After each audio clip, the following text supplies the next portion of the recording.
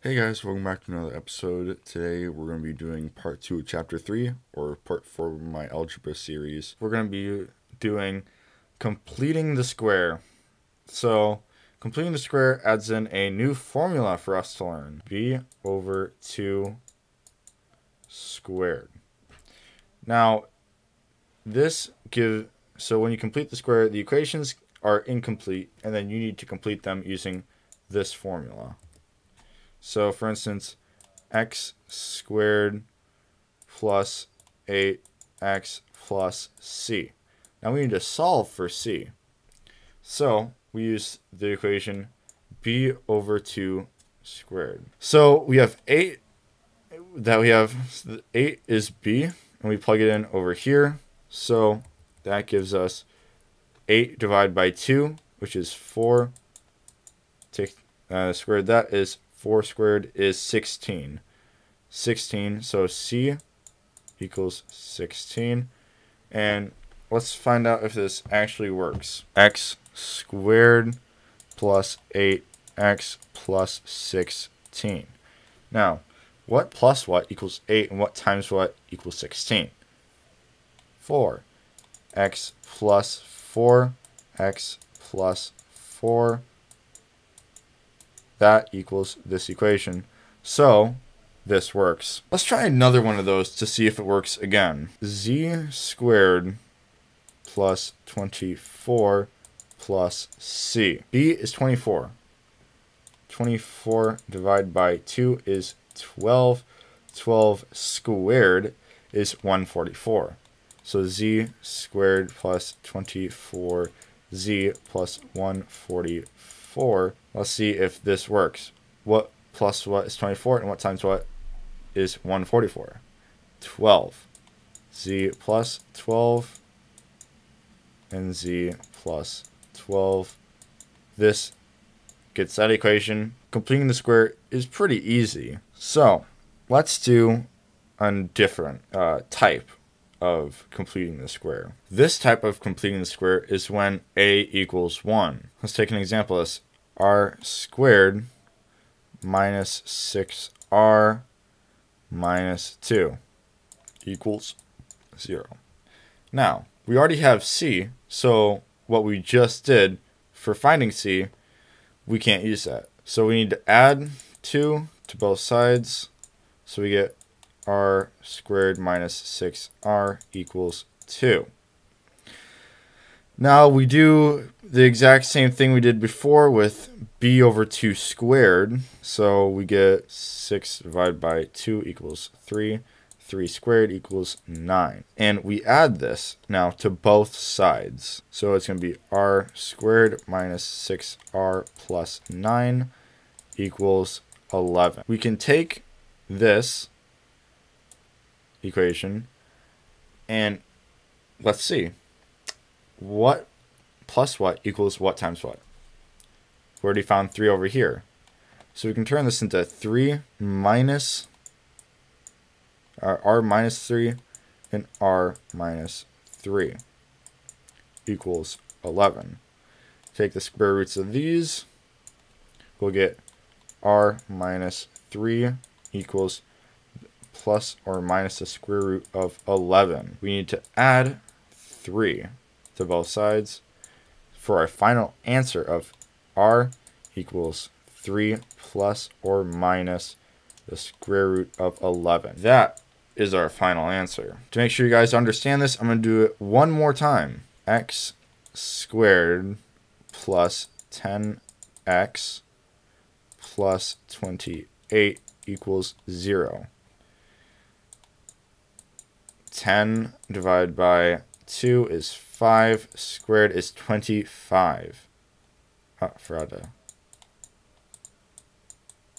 So it's going to be x squared plus 10x plus 25 equals negative 28 plus 25. That's going to turn out to be again x squared plus 10x plus 25 equals negative 3. And of course, what plus what equals what? What times what equals what? 5. x plus 5 squared. I'll just do that instead of writing both of uh, both equations. Now we can take the square roots of these. It's going to be x plus 5 equals plus or minus the square root of 3. Uh, but remember, i equals the square root of negative 1. So it's going to be i. Then you minus 5 minus 5. You get x equals negative 5 plus or minus i square roots of 3. Final answer. Next, we get to learn about the quadratic formula. Now, this is one of the easiest formulas to remember if you get it stuck in your head right. It's going to be x equals negative b plus or minus the square root of b squared minus 4ac over 2a. Now, many people have written songs about this formula, and they just make it so easy to remember. So once you have this equation, negative b plus or minus the square root of b squared minus 4ac over 2a, you just plug in the numbers. For example, let's use this equation. x squared minus 7x minus 18 equals 0. This is A, B, C. Now, where it says B, A, C, A, you just plug in these in their spots. So, x equals, this is B, this is negative, but this is negative, so they cancel out. This is going to be 7 plus or minus the square root of negative 7 squared minus 4 times 1 times negative 18 over 2 because 2 times 1 is 2. Now from this you can just start factoring it out. So this is going to be 49 this is going to be 49, then these are going to equal to 72. So you just add them together, 49 plus 72 equals 21. I mean 121. So it's going to end up looking like 7 plus or minus 121 over 2. I'll, I'll just write that.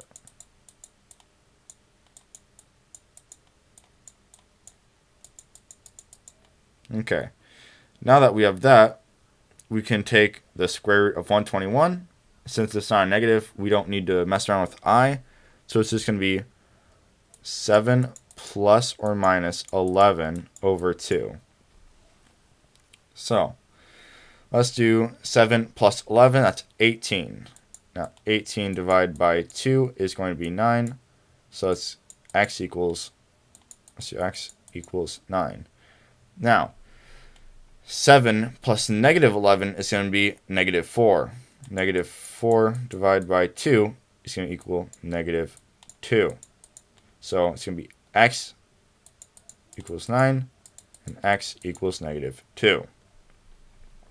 It's just really easy because you can just take the numbers and just plug it into the quadratic formula. This is one of the best formulas out there. Negative b plus or minus the square root of b squared minus 4ac over 2a.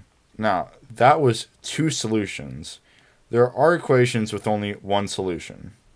For instance, let's just take 4x squared plus 3x equals negative 13x minus 16. So just plus 13x plus 16. 4x squared plus 16x plus 16. Now you take these, plug them into the quadratic formula, and then you should get x equals negative 16 plus or minus the square root of 16 squared minus 4 times 4 times 16 over 2 times 4.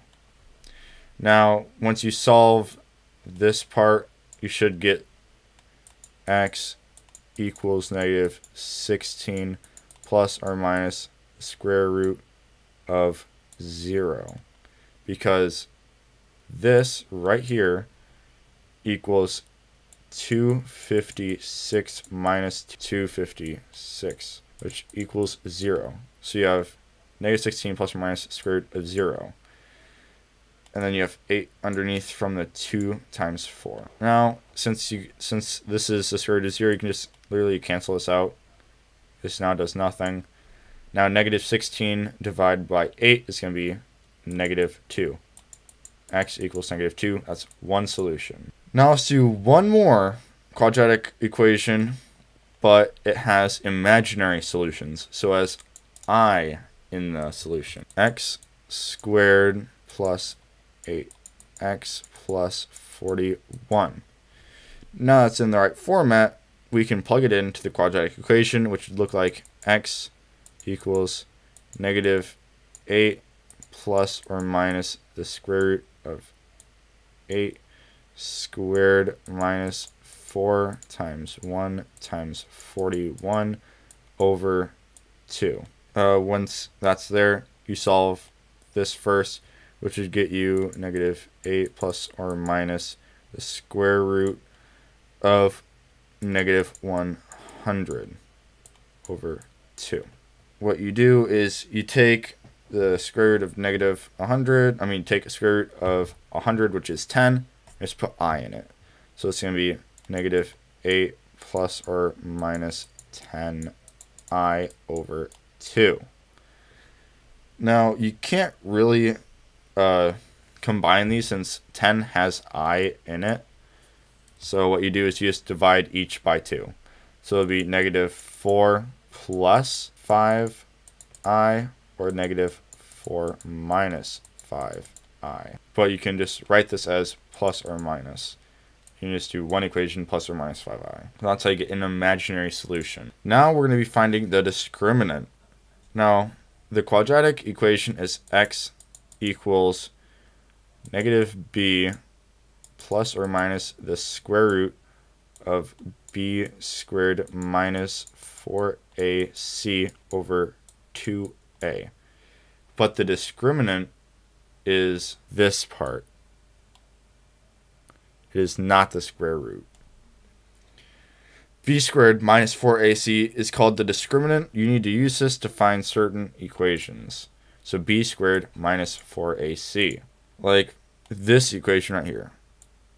b squared plus 34b plus 289 equals 0. So, once you do that, you just put in the discriminant. So it's going to be b squared. So it's going to be 34 squared minus 4 times 1 times 289, which equals 34 squared is 1,156. And when you combine all of these, it also equals 150, 1,156. So since it's minus, we get an all around zero. So there's one real solution.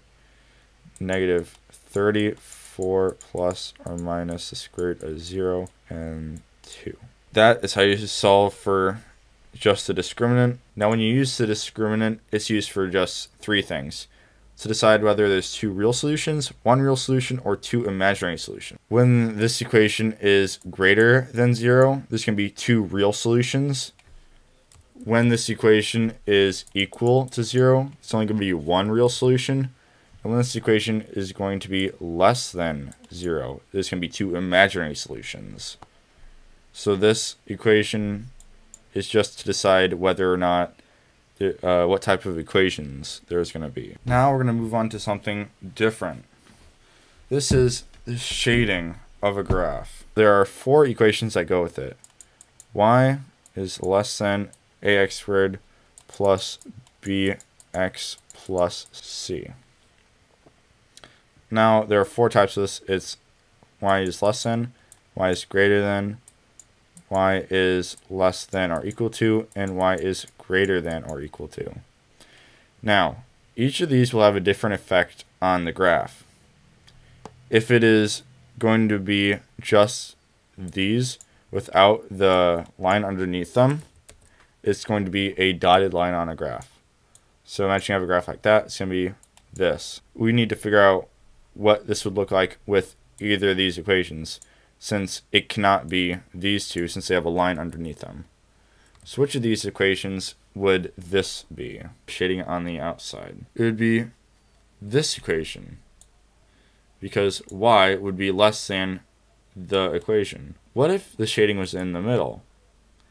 Now it would be this equation because here's the function of this and y is greater than that. So it's going to be inside. Now let's move on to doing this. And there is shading in here.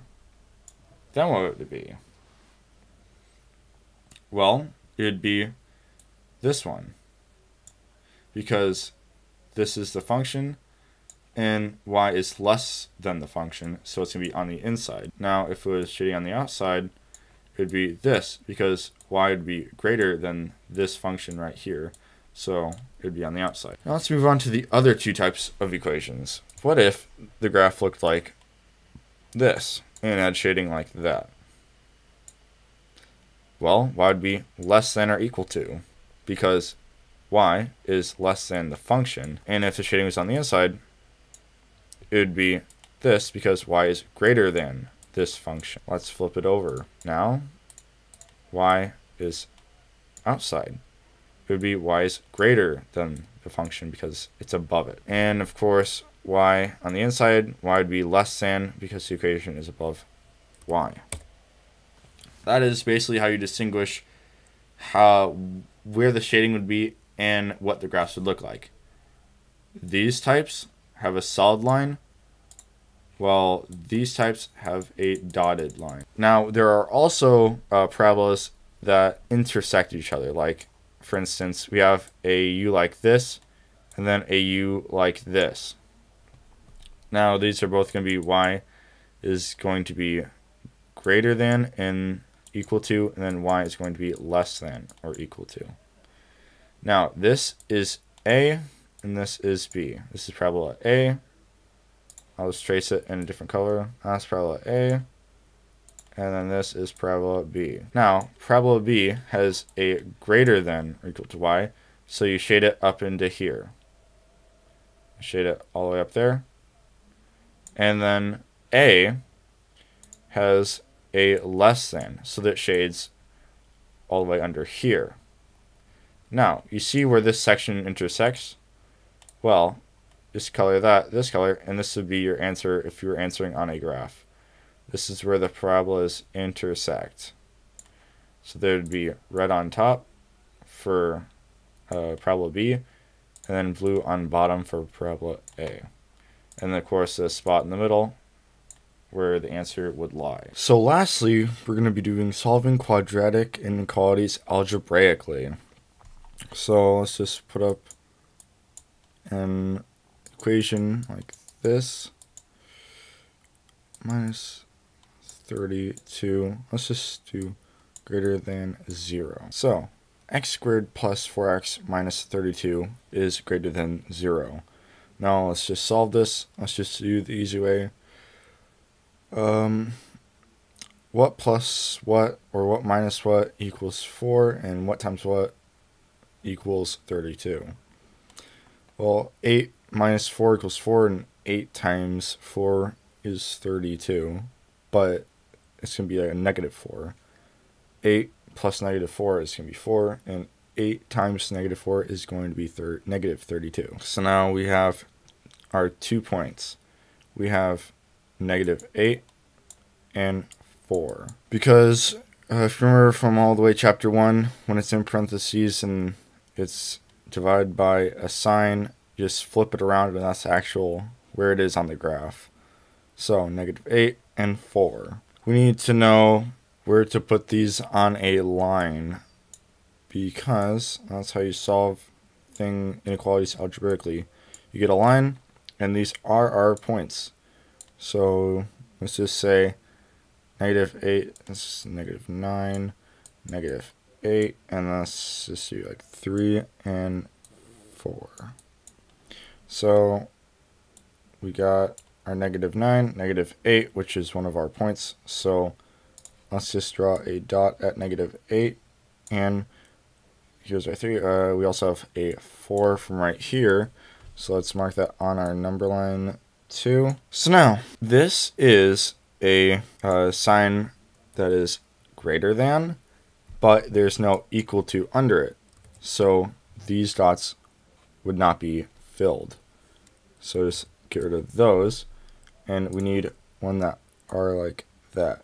When there's no uh, equal to sign underneath the greater than sign or less than sign, then the dots are, will be open. Now we need to test our equation to see whether which way it'll go out or in. To Do that, we just plug in some random numbers. So let's just make x equal 0. 0 squared will be 0. 4 times 0 is going to be 0. And then negative 32. Negative 32 is not greater than 0. When you graph it on a number line, it should look like going to the outside because 0 is in the middle and it does not equal 0, which means that x is greater than 4 or x is less than negative 8.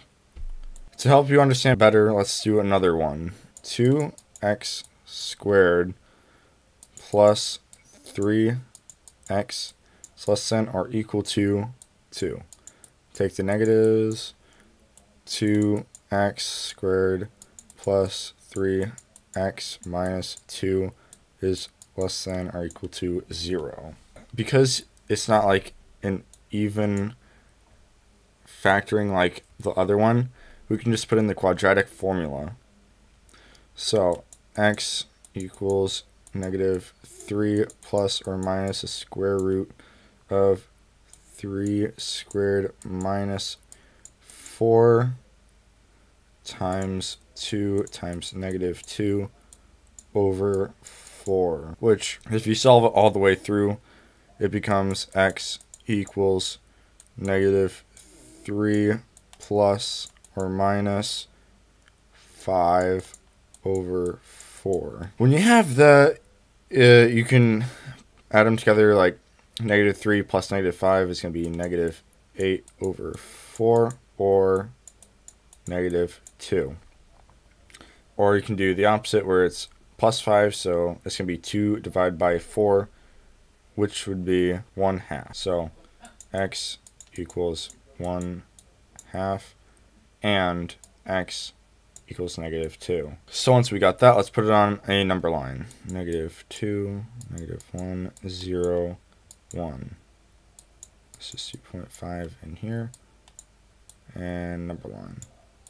Now we can draw, since this is a greater than or equal to, we can do solid dots. Now, we need to find out uh, where the line will be going, outside or inside. So let's plug in a random number. 0, 0, negative 2. Negative 2 is less than or equal to 0. Yes, it is. That is a check mark. It is. So, it has 0 in it. So, bam. There we go. They're connected because 0 is in the middle. And it checks out. Thank you guys for watching this uh, Chapter 3 Math Exam Review. Just thanks for watching, and I'll see you in the next one. See ya.